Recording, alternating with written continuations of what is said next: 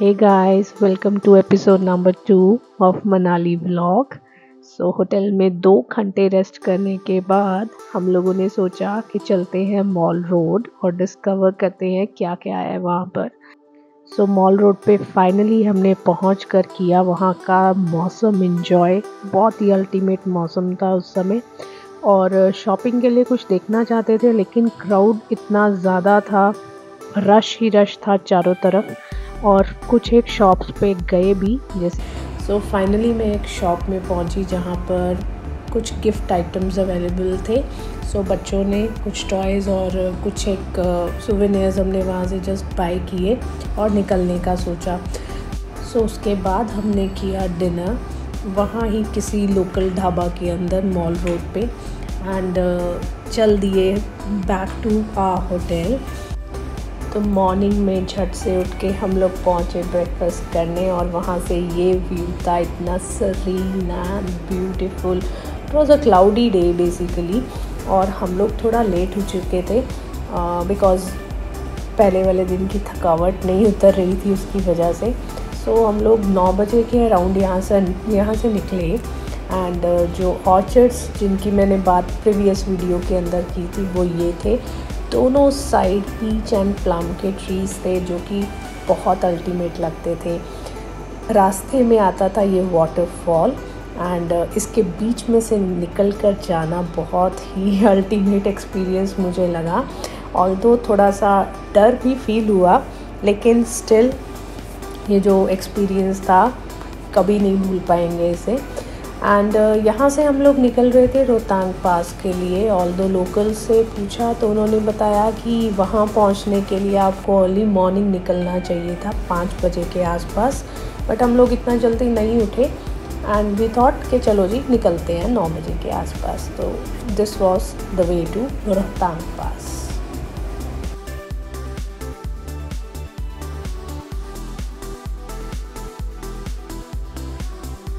रास्ते में आपको बहुत तरह की एक्टिविटीज़ वहाँ पर दिखेंगी एडवेंचरस एक्टिविटीज़ लाइक ये hot air balloon and paragliding rafting साथ साथ चलती ही जाएँगी।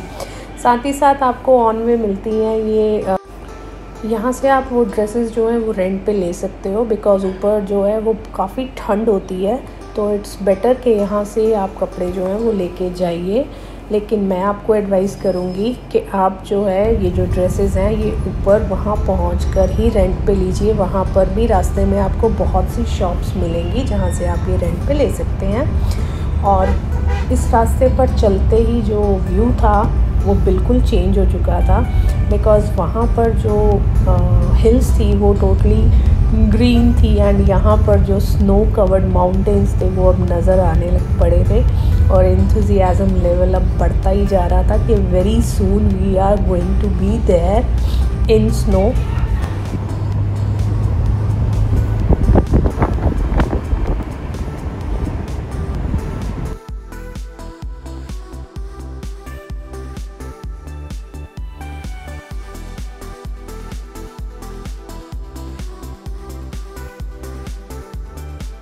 so so, यहाँ हिल्स पर जगह जगह से वाटरफॉल जो है वो गिरते हुए दिख रहे थे।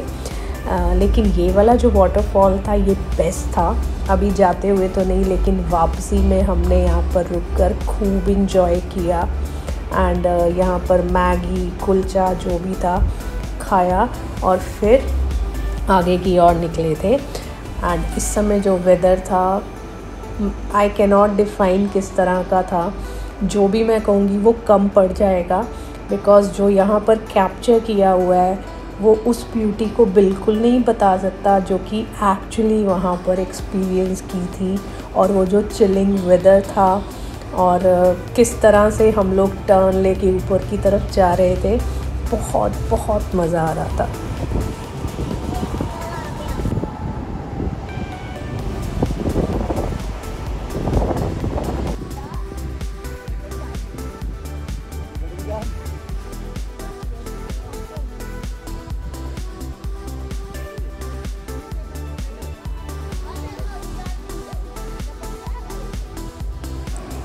तो ऊपर जाते हुए आपको मिलेगी ये ब्लू वाटर लेक। यहाँ पर कुछ लोग रुक कर इन्जॉय कर रहे थे बट हम लोग ऑलरेडी बहुत लेट थे तो हमने यहाँ पर टाइम वेस्ट करने का नहीं सोचा और जैसे ही हम ऊपर पहुँचे तो हमें दिखा इतना बड़ा जाम। और फिर भी माइंड में था कि शायद पहुँच जाएँगे, कोई ऐसी दिक्कत नहीं आएगी। ज़्यादा से ज़्यादा एक घंटा लगेगा और हम रोहतांग पास होंगे। लेकिन लोकल ड्राइवर्स जो थे उन्होंने बताया कि जो जाम है it's not a normal jam यहाँ पर आपको चार से पाँच घंटे लगेंगे। अगर अभी हम यहाँ पर होते हैं तो तब भी हम चार पाँच घंटे तक ऊपर पहुँच पाएँगे जिससे सभी बहुत डीमोटिवेटेड हो गए। एंड uh, कुछ देर वेट करने के बाद हमें लगा कि नहीं कुछ फ़ायदा नहीं है। बिकॉज़ पहुँचते भी तो वो छः या सात बजे के आसपास और फिर वापसी का भी था तो हमने सोचा नहीं, चलो वापस चलते हैं बिकॉज़ आठ बजे तक वहाँ पर रहना ना तो इन्जॉय हो पाता। तो वहाँ से लिया हमने यू टर्न और चल दिए हम बैक टू पवेलियन बिकॉज़ वहाँ पर और ज़्यादा रुकने का रिस्क हम नहीं लेना चाहते थे। और ऑन वे जब हमने ये मैली कुचली स्नो देखी तो सोचा क्यों ना इसी में इंजॉय कर लिया जाए बिकॉज़ ऊपर तो पहुँच पाए नहीं। तो यहाँ रुक कर थोड़ा टाइम स्पेंड किया और कैरी ऑन किया।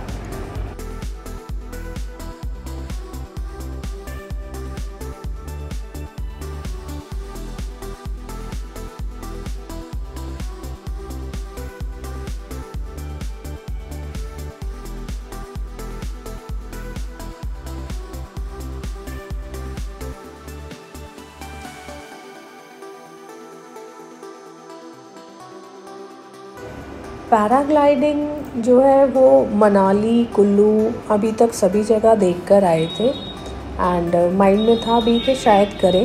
लेकिन जब यहाँ पर रोहतांग में आकर पैराग्लाइडिंग करते हुए लोगों को देखा तो वो जो एक्सपीरियंस था, वो उन एक्सपीरियंसेस से कंपेरेबल बिल्कुल नहीं था।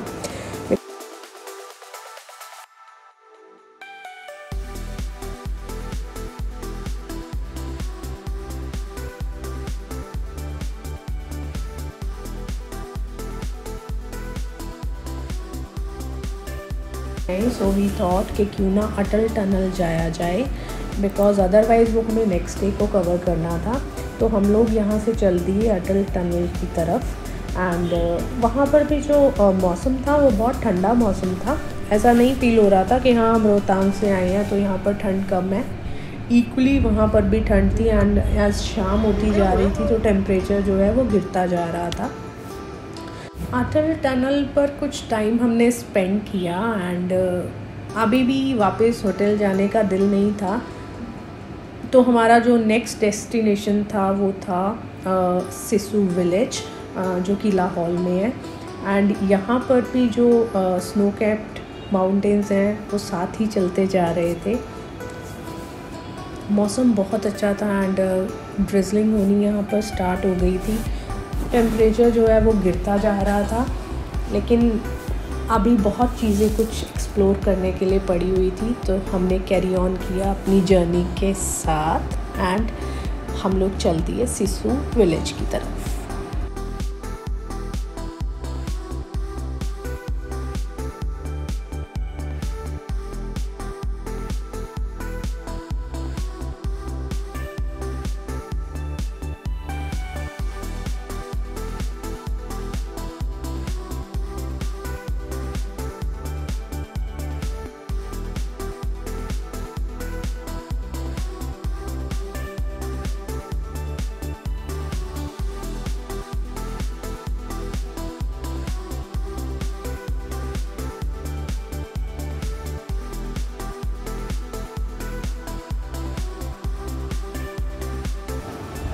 अगर आप उनमें से एक हैं जिन्हें हिल्स तो पसंद है, लेकिन वहाँ का शोर और भीड़ भाड़ नहीं तो this is the place to be at Sissu village जो है, वो एक ऑफ़ लोकेटेड प्लेस है और यहाँ पर आपको ट्रैफ़िक जो है, वो बिल्कुल नहीं दिखेगा।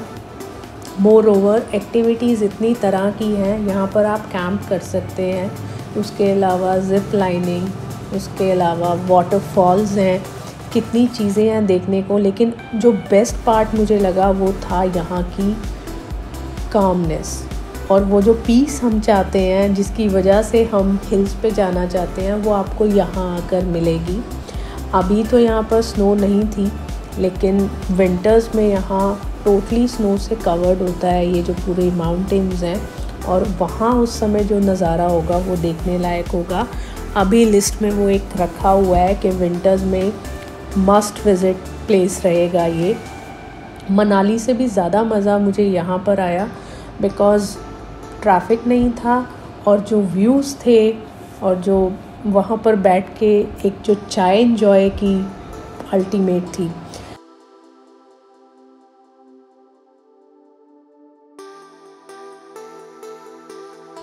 तो सारा दिन वहाँ स्नो कैप्ड माउंटेन में गुजारने के बाद और ऑलमोस्ट रोहतांग को टच करके वापस आने के बाद सिसु में कुछ टाइम गुजारा और अब टाइम था वापस मनाली पहुँचने का और रास्ते में लगी थी ज़ोरों से भूख। So we stayed at a place uncle's food garage वहाँ पर हमने किया dinner ambience of that restaurant is very nice and the food they served is very very delicious so so, अगर आप उस रास्ते से आ रहे हैं तो डेफिनेटली यहाँ पर फ़ूड जो है वो ट्राई कीजिए। So thank you so much for watching the blog